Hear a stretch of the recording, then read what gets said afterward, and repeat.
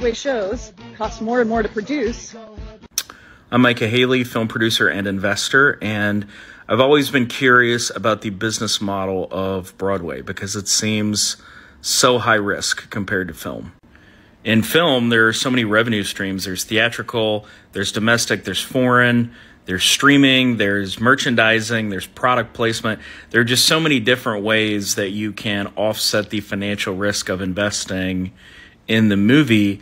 But with Broadway, uh, is there anything like that? Uh, it doesn't seem like there's any financial safety. It just seems like it's pure risk and everything is balancing on the first week the, when you open and the reviews. And it just seems crazy that you can invest, you know, f- what is it, five to ten million dollars is like a number that I could uh, use to to tech and prep a you know, a Broadway show. Uh, it's just crazy to invest that amount of money in something that a little, you know, bad word of mouth can kill in the first weekend, even if it's correctable in subsequent weekends. It's very, very strange to me and very scary to me as an investor. So, are there other revenue streams in Broadway that I don't know about that are that sort of uh, soften that investment? Are there tax credits in New York that I don't know about? Um, what are you doing to make it a relatively safe investment for your investor? Also, Sally, I would love to hear your thoughts on filming uh, theatrical productions uh, and the different revenue streams that can come from airing them in theaters or licensing them to um, to some sort of streaming outlet.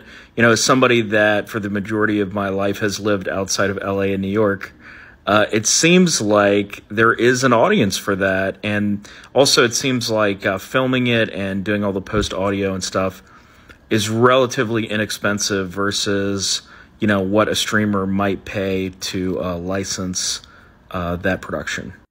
Is there a current streaming service that you know you can sort of license a filmed version of your production to?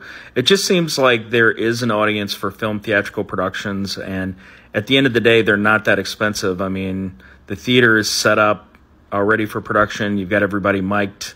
I'm sure that's being fed into some central place you can pull audio out of. And then you're just talking about two or three cameras to cut back and forth on. If a streamer came to you and was like, look, we'll film it and post the whole thing we have the exclusive rights for 10 years and I'll give you a quarter of a million dollars. Would that be attractive to you? Or half a million dollars? Would that be attractive to you? Um, and are people already doing that? I don't know. Broadway is not my world. So please educate me.